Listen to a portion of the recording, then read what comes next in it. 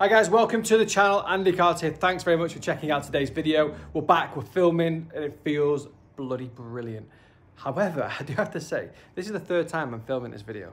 I clearly have got so out of touch with what I was doing. Having a couple of weeks off has wrecked me because I was outside. It's beautiful day. The sun is shining. I've got my t-shirt on, got the legs out, got the shorts on. It is beautiful outside, but it's crazy, crazy windy.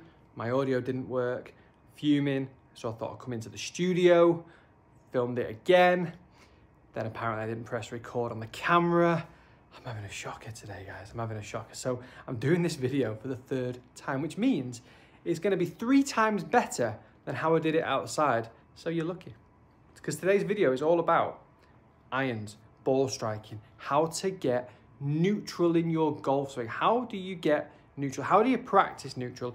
And all you're gonna need for this video, honestly, if you've got a seven iron and you've got space, great. If you're in the kitchen and you've got a wooden spoon, that is all you need. You do not need much for this video at all. So let's get stuck into this because I think I reckon there's some gold. Actually, I know there's some gold. I've done it twice already. In this video, we're going to be talking about the positions in which I want to try and get your golf swing so it's as close to neutral as possible. Now, neutral is a great place for us all to be, but it's also a place that none of us actually are. So we're going to build the swing with four points that you can reflect on to see where your golf swing's at in comparison and where you can move your golf swing to make it better. So we're going to start on setup. Now, first of all, I've got a 7 iron in my hand, so we're going to go with that kind of generic feet shoulder width apart, ball position in the center. Distance from the ball is always one where a question that I get asked. So the shoulders just pushing down in front of the toes. And then from here, we're looking at a four key points in the golf swing that can help make your swing more neutral. This is a drill that I do with a lot of clients on a one-to-one -one basis when we're on the driving range, and a lot of clients actually that I teach remotely. So I teach through the app Skillest, and this is a great way of us talking through and comparing where their golf swing is in comparison to what we would class as kind of a neutral golf swing. And it's, a it's a great drill for people to get, for you to get an understanding of what is neutral and what is a better position for you to be in. Also, if you are interested in the Skillest app, the link is in the description below to my profile because I do get a lot of people asking or saying actually it'd be great to be able to fly across to the to the UAE or fly across to the UK and have a lesson with me you can just now do it through an app and we do Zoom lessons, live lessons. It's, it's actually superb. It's, let's talk about position now. So position number one is going to be here, the shaft of the club pointing straight down the target line. It's also, if I put it on the ground, pretty much parallel to my feet. So the golf swing is working in straight lines, although we are making a rotation. We always look at those straight line points. We work a lot on parallel lines and a lot on the 90 degree angle relative to target. So if I take my takeaway here, shaft the club to the target, as I get to the top of the backswing, if I get into the, if I get a far enough rotation, which to be fair, I don't normally, but if you do, then you want to be able to see the shaft of the club up here pointing towards the target as well. You never want to see the club too laid off and you don't want to see the club too much across the line. Those positions are definite do nots, okay?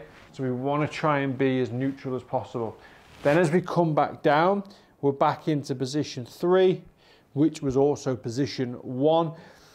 And I say that with a bit of a pinch of salt in there because it's not really your body's in a different position, you're probably a little bit narrower, your weight's more to your left, so it's not actually in the same position, but it has the same theory behind it in regards to the fact that the shaft of the club points down the target line, you're gonna hit the ball, and then guess where the shaft of the club is pointing at this point as well, straight down the target line. So we go up, pull it down, and fat it straight into the screen.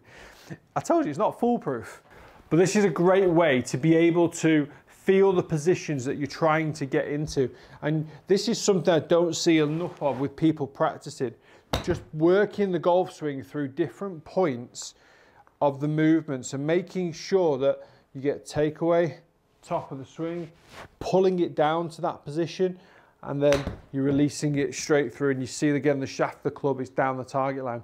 And one of the key areas of this practice drill is trying to feel where that transition is because we all know, and the majority of golfers slice the golf ball, and they tend to do so by getting to the top of the backswing. Could be an amazing position all the way go all the way to here, but then that first movement is there, and obviously that position now is not parallel to target.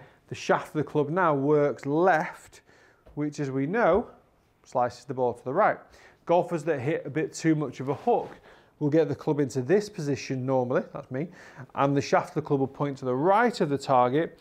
The path will go right, face will work left, and we'll hook it. Or we'll get a massive push or a push slice with the face open to the right. And that is the, that's even worse, is the push slice.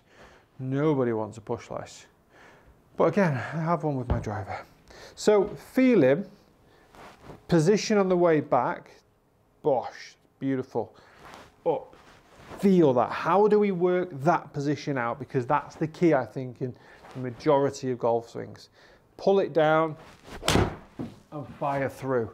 And just go through the grind of really working through those, posi those positions to get the neutral, understand what neutral is.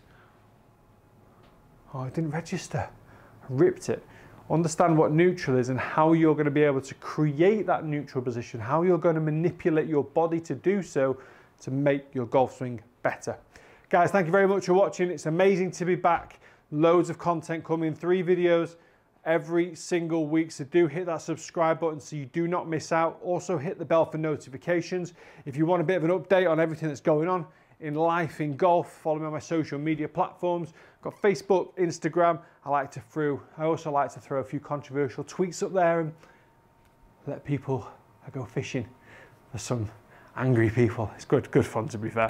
But guys, thanks for watching and I'll see you again very soon.